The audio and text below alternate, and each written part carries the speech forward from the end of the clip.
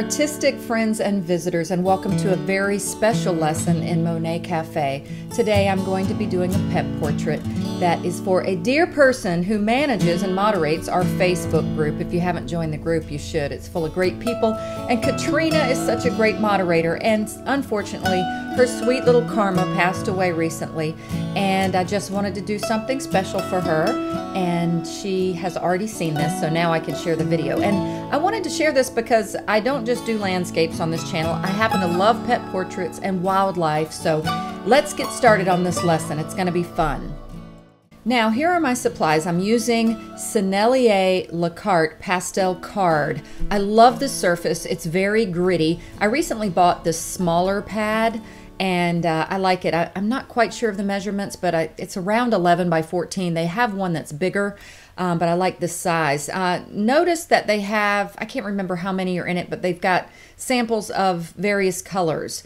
And uh, sometimes the color just sets the mood. Oh, I love this kind of bluish green color that they have here. So uh, again, I, I, make note when I use this paper, don't add water to this paper. It is not water friendly.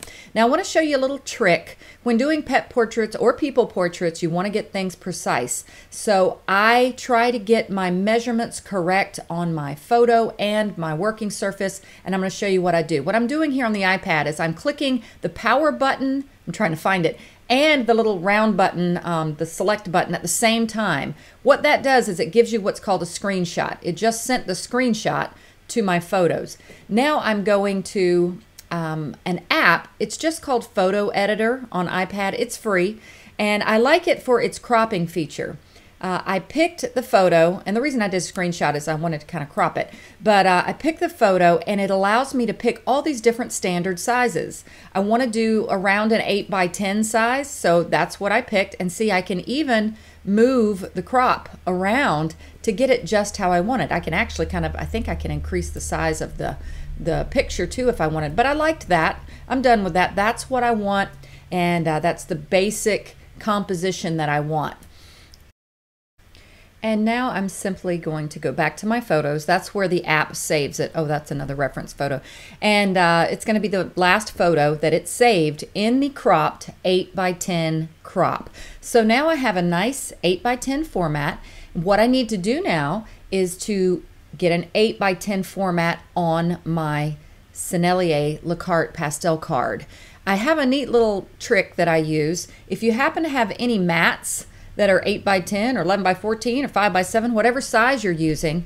Um, just take a mat. This happens to be an 8 by 10 mat. It's actually the opening's a little bit smaller than 8 by 10, but it's proportionate to the crop I just did with the photograph. So now all I'm doing is basically that's just a piece of charcoal, willow charcoal. I'm just uh, marking out on my pastel card um, the 8 by 10 size. Now I'm going to share a lot in this video. Um, at some point I'm going to do a little uh, uh, music and because uh, oh yeah you got to have your Monet Cafe coffee cup and coffee to get started. Um, but uh, I'm going to be sharing a lot at the beginning of this video, even though I play music later in it, about technique. Now I just use a simple pencil. You can use whatever, um, and I'm just getting in a light sketch here. And what I want to emphasize in this video is how important it is with portraiture work, be it animal or people portraits, to get your drawing, your sketch, your proportions uh, correct because it's going to not look like that person or animal uh, if you don't get these things right at the beginning. It's like it's just like having good soil to plant in. You've got to get the uh, the basic sketch and image in right. Now, here's what's the, the reason for portraiture, I'm stressing it, is I'm not just painting a dog, I'm painting someone's dog. Just like if you're painting a person, I'm not just, I, I like the sketchy app, I like to paint people I don't know, but I'm not, it's not a commissioned work. So it can just look like, sort of like the person, not just like the person. But if you're doing a portrait, Animals even have individuality and personality, and it's not just this breed of dog I'm painting, it's this person's dog. So I hate to belabor that point, but it is very important. Uh, and it's so neat. The more you start looking and studying, the more you start realizing, wow, dogs really do have an individual look to them.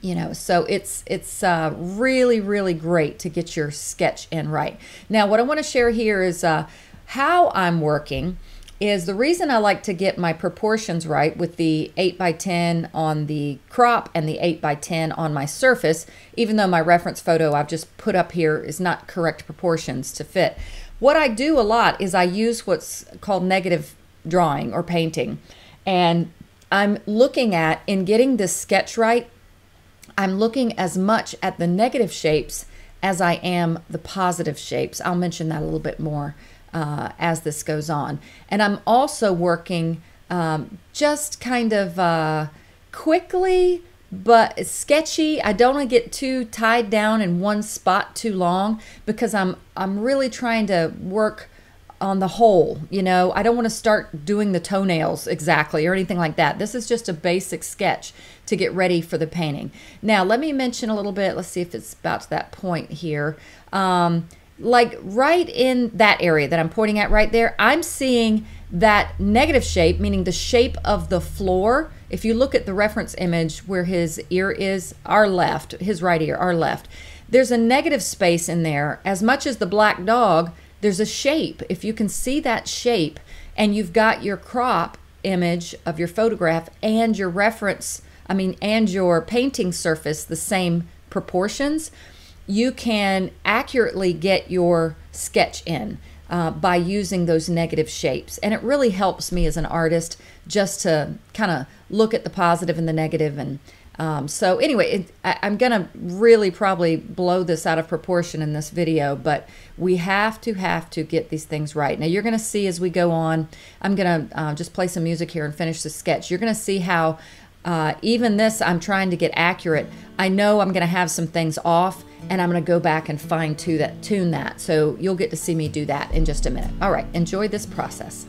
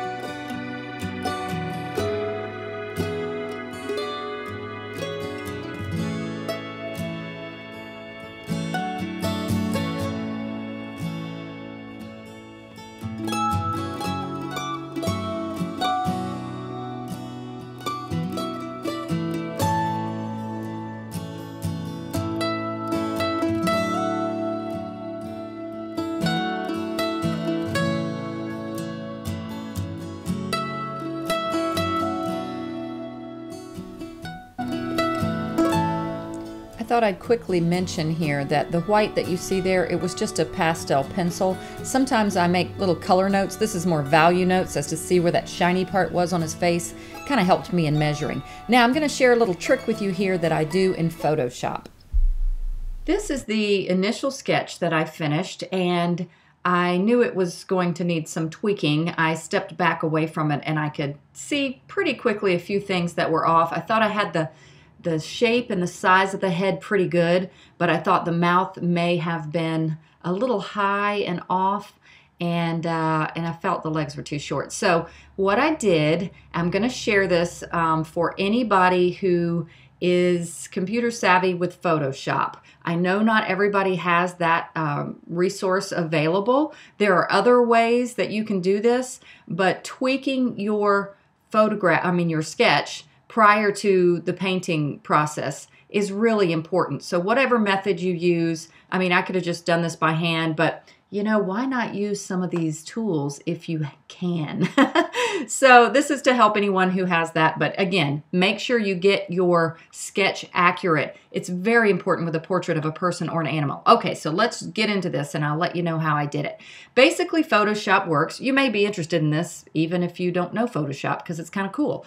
The way Photoshop works is you put things in layers. So I already have my initial sketch layer here, and behind it, I have my photograph that I worked from, my reference photograph.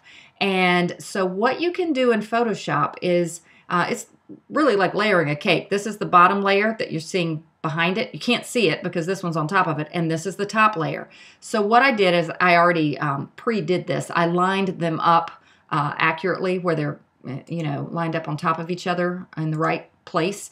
And what I'm going to do, this little thing over here to the right is called the opacity. It's the ability to make the image that you're on, it's this one highlighted, the dog sketch, it's ability to make it more translucent, less opaque and more translucent. So take a look at how, again, I told you, I already lined it up, at how um, you're starting to see through the sketch to the dog photograph. Now, I'm going to leave it right about there because that's pretty good to see both. And like I thought, I, I kind of got most things of the head right, but I was right. The mouth was off. The mouth should be more down here, a little more. Uh, the nose size is pretty good, um, but the mouth needs to come down here more. Okay, you see that? And the chin is lower than I had it. I also noticed I thought the the reason I thought the legs were too short is I could tell the chest wasn't long enough. Um, but let me work top to bottom. Again, I kind of got the eyes right, which is to me, the eyes are like totally the personality of the animal or the person that you're drawing. So you want to make sure you get those eyes right. So I was pretty good. I took a little bit more time on that. Um, but then I noticed the ears were good. Basic shape of the body is good. But as I came down again, I noticed this needed to be lower, which in turn made the tag need to be lower. Now this is where, you know, again, I, I really got this pretty good. I was happy to see. But the chest is lower down. You see how far that goes down here where that lighter part of his fur is.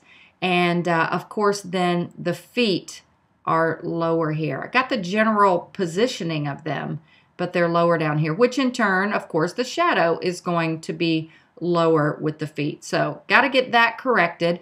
Um, I was pretty happy to see that I pretty much got that, if you want to call it a knee on a dog. I don't know if that's the back, if that's the correct terminology for a dog's leg, but it looks like a knee to me. And uh, and I got that foot pretty close. So um, so a lot was going right, but you definitely want to get these things fixed. So all I did is I, I just printed this out. I'm going to take it back over to my sketch and correct these things. So there's a little tip for anybody who might have Photoshop um, or any other way you can come up to tweak your sketch to get it right. All right, so now it's time to come or um, repair this or mm-hmm. improve this sketch and get started.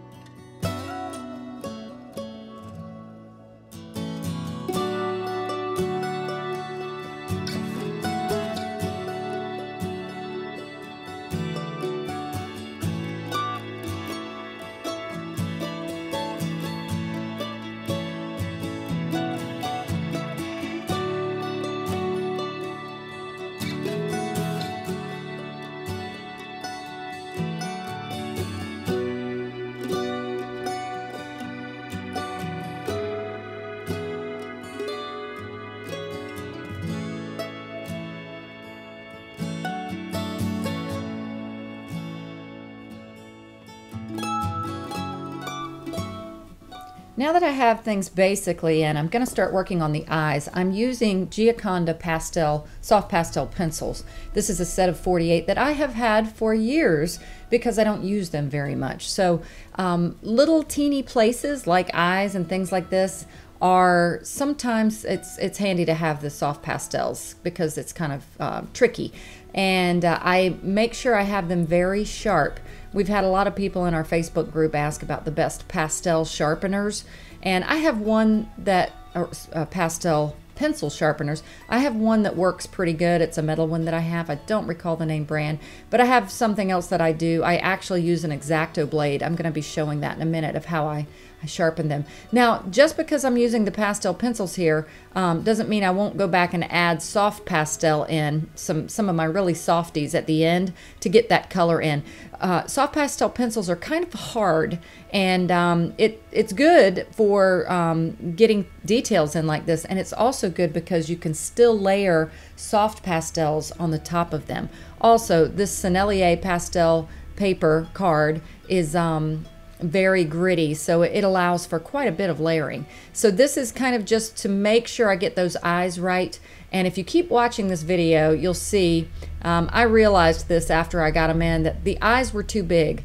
Now they may be okay for, you know, just a dog in general, uh, but this dog happened to have eyes, Karma happened to have eyes kind of like my son's dog named Diesel. They're, they're not real big, but they're, they look wise and they look uh, human-like, intelligent, but they're they're smaller. So uh, later you'll see how I correct the size of the eyes. And again, this pastel card, uh, Sennelier Le Carte, is uh, very good for being able to correct things because I didn't have any problem in putting some soft pastels on top of them. Here's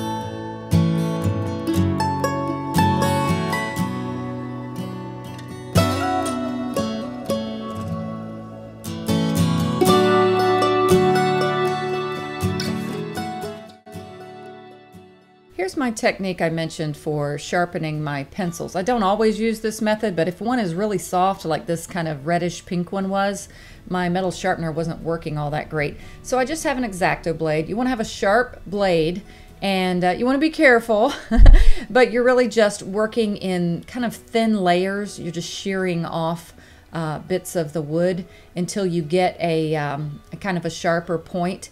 And then I use a piece of um, actually, this is piece of the Sennelier lecarte card because it's kind of sandy. It works like sandpaper, and I continue to sharpen the pencil from the pastel card, so it works quite well. And uh, having these sharp points is really going to help me getting the details of the eyes in.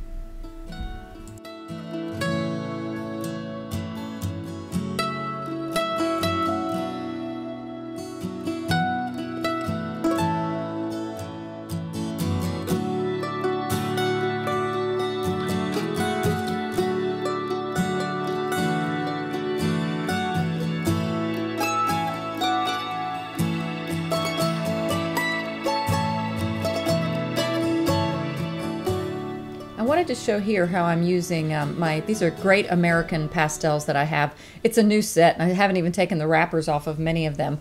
But I often like to go ahead and get in my mood for the background. I decided, actually, you'll notice, to keep that little, uh, almost like a window, the square that I did originally, the 8 by 10 So the final, excuse me, the final painting is not going to be an 8 by 10 It's going to be a little bit bigger than an 8 by 10 But I kind of like the feet kind of sticking out of that little cropped area like that. So I thought I would play around with that.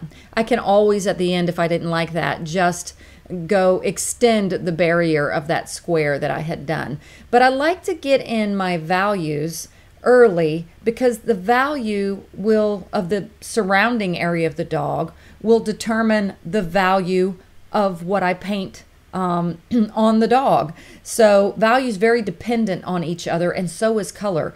Uh, if you've ever noticed, you've probably noticed this. If you're ever picking out color, like uh, at Home Depot or whatever, to paint your walls, if you ever notice how you pick out a particular swatch or color, you get it home, it looks totally different. But it's because the color is dependent on the light and the colors in your house, which may be different from the light and the colors that it's next to when you're standing in Home Depot. So the same thing works for a painting. A blue will look more blue next to certain colors than it will others. So again, that's the reason that I like to go ahead and get my values in. It kind of sets the mood for the painting. I don't know what I was pointing at there, but um, it, it really just helps kind of get things going and, and kind of get my direction settled. So I'll just let the painting process continue here and I'll admit looking back at this doing the voiceover he does look a little off right here but again I'm working big shapes and fine-tuning things as I go so uh, fortunately he starts to take shape soon.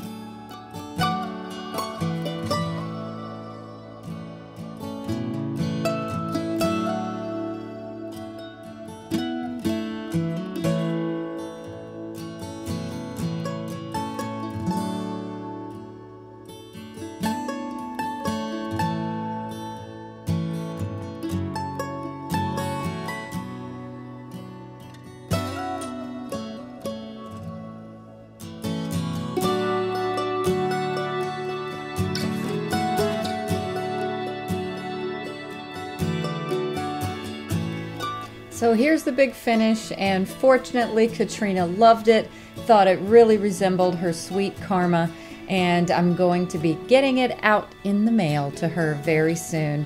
I love doing uh, memorial pet portraits uh, because I know how much, being an animal lover myself, how much these sweet babies mean to us. So rest in peace, sweet Karma. And I hope you guys enjoyed another lesson in Monet Cafe. Please subscribe, come back soon, and join our Monet Cafe art group on Facebook. Happy painting!